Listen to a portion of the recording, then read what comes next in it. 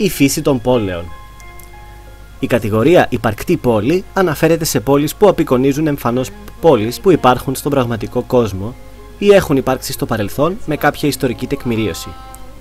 Μέσα στην κατηγορία αυτή ανήκουν και οι αρχαίες πόλεις.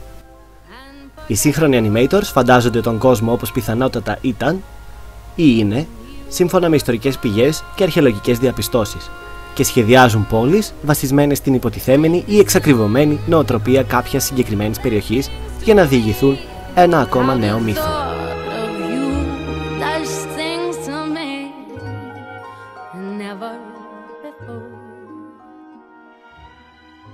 Η φανταστική πόλη αποτελεί προϊόν μυθοπλασίας.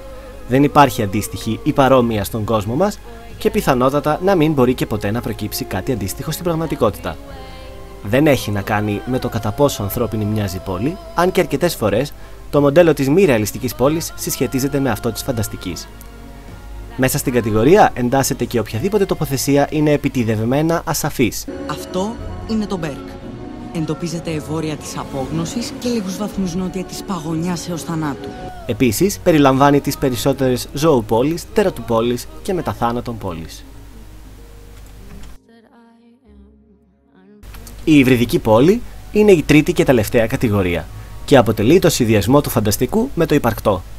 Σε αυτήν ανήκουν αρχικά οι πόλεις που η γεωγραφική τους τοποθεσία είναι μερικώς προσδιορισμένη μέσα στον πλανήτη μας. Ωστόσο, πρόκειται για μια πόλη που δεν υπάρχει ή δεν υπήρξε ποτέ ιστορικά. Καλώς τους στο Άγκραμπαχ, πόλη του μυστηρίου, της γοητείας. Ό,τι καλύτερο και αυτή εδώ η μεριά του ποταμού Ιορδάνη, ξεπουλάμε. Σε αυτήν επιπλέον ανήκουν υπαρκτές πόλεις οι οποίες αλλοιώνονται.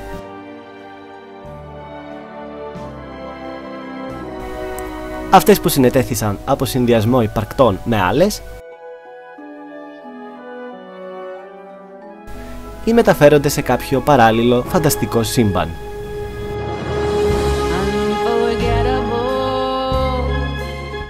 Το συνηθέστερο μοντέλο πόλης φαίνεται να είναι η φανταστική, με ποσοστό 46,8%.